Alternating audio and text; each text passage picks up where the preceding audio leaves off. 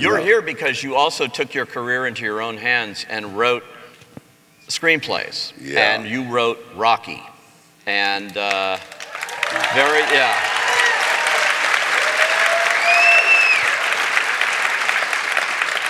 Very famously held out. I think you were meeting with Irwin Winkler and Chartoff uh, on another movie, and uh, Yes.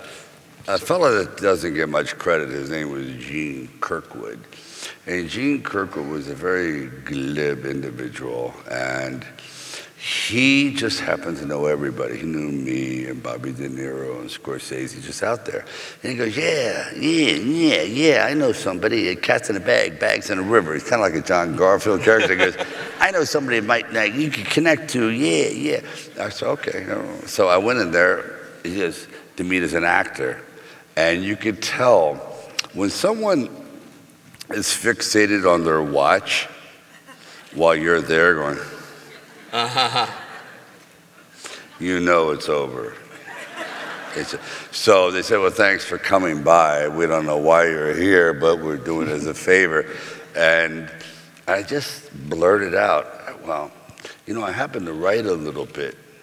And I did write, but I didn't, it wasn't exactly stellar. I hadn't sold anything. Actually, I did. I sold Paradise Alley for a hundred bucks to a friend of Jimmy Woods at the time. That's how far back I could go with Jimmy Woods. Uh-huh. And he goes, "Oh yeah," and they were just being very, very nice. I said, "Sure. Well, if you've got anything, bring it back." I went, "Oh." So all you need is a little crack in the opening of a door. It doesn't need to be swung wide open, but that opportunity. I went, finally, there's something there. Now I have nothing. What am I going to do? It's like, hmm, why don't I take kind of uh, maybe what is what I'm going through, a lot of people go through, which is not being realized for what they are in their own lives, or at least what they think they can be. You know, sometimes we're delusional and we think, oh, yeah, you know, I, I, I know I'm better than Kobe Bryant. No, you're not. You're not. I can sing better than Elvis. No, you can't.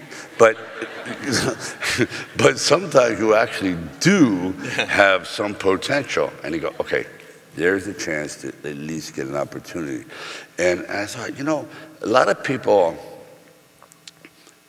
don't expect to be, you know, Gandhi. They don't expect to be some extraordinary revolutionary soul that's going to change the paradigm of the universe.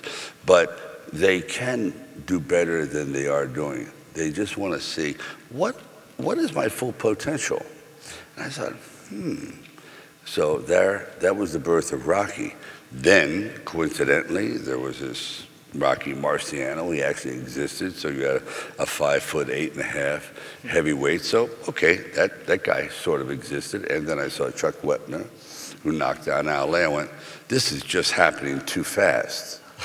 there's something. There's, there's a message here, and that's when I went home and, and began to write. Poorly, I might add. Uh, don't be afraid to be sloppy the first time out, really. You know, the main thing is I believe in getting it done. Now, that doesn't apply to architecture. it doesn't. Because we've had those kind of guys, and the uh-huh. kitchen falls down. But it does apply to creative endeavor. Yeah, the first time is a little goofy, but you, you at least you have the format. You, you have the structure to work within. Yeah. And it's you wrote it in three days. It's amazing, and just that that classic story of I want to star in it, and that sounds like something out of a Hollywood movie, and it happened.